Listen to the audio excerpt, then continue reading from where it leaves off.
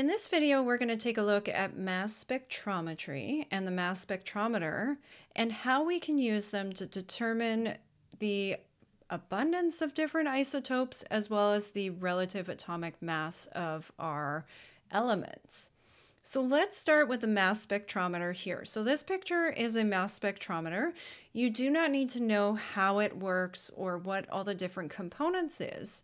But essentially what we do is we take our sample our sample gets ionized, so creates different ions that have different masses and they get deflected by a different amount. And you can measure the amount of deflection. And so essentially, every isotope would have a different mass, so it would have a different deflection. And so we would get these patterns that we could interpret that we could then determine what the relative atomic mass is and what element we have. So it's an instrument that's used to determine the relative atomic mass of an element. And as I just said, we can use it to show the isotopic composition because it's going to show us all of the different isotopes that are involved in our sample. Now, what we end up getting from a mass spectrometer is something called a mass spectrum. And so this is a plot, it's a graph of the relative abundance of each isotope that's plotted on the y axis versus the mass to charge ratio that generally corresponds to the mass of the isotope. So you don't need to worry too much about the mass to charge ratio. It's really what charges are created as we're ionizing these, uh, these different isotopes. But generally, that mass to charge ratio is really just the mass of the isotope because most of the time the charge is just plus one. Now we can then take this graph and take the height of each peak, or I guess essentially more properly, it's the area under each peak. And that's going to tell us the relative abundance of each of the respective isotopes.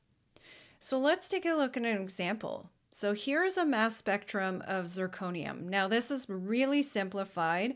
In real life, if we saw this mass spectrum, it would be way, way messier. Um, but this is just kind of a simplified sort of mass spectrum from us. So we can see on the y-axis, we've got relative abundance. And then on the x-axis, we've got mass to charge ratio. And so you can see peaks. We've got five peaks. We've got one at 90, 91, 92, 94, and 96. And they all have different heights because this is the related to the abundance, the relative abundance of each one. Okay, so we've got five peaks, which means that we have five isotopes of zirconium. And then they have masses of, as I said, 90, 91, 92, 94, and 96.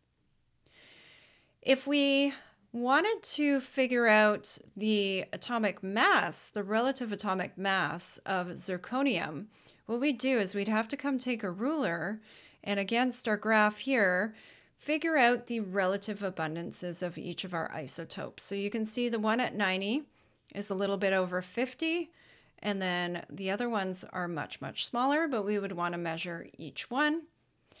And in this case, you know, it's a little bit hard to see on this slide. So the relative um, abundances for zirconium 90 is 20, 51.5%. For 96, this tiny little peak here is only 2.8%. Then we've got zirconium 92, a little bit bigger at 17.1%. 91 is 11.2%. And then our final one, zirconium 94, is a little bit bigger again at 17.4%. So then now that we've gotten the relative abundances from our mass spectrum, we can do our usual calculation to find the relative atomic mass of zirconium.